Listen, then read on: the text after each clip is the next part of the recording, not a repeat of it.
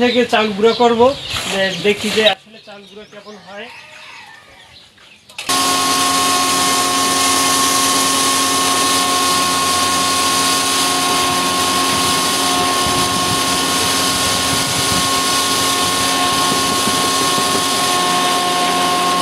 এটা পাউডার করছি আশা করি খুব ভালো হয়েছে।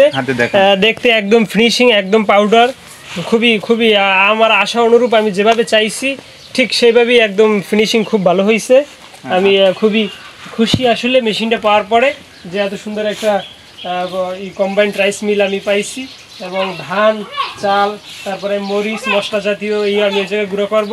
আশা করি যখন এই দুইটা ভালো হয়েছে ওটাও আশা করি ভালো হবে। ওটা আমি এখন দেখব যে এটা কেমন হয়।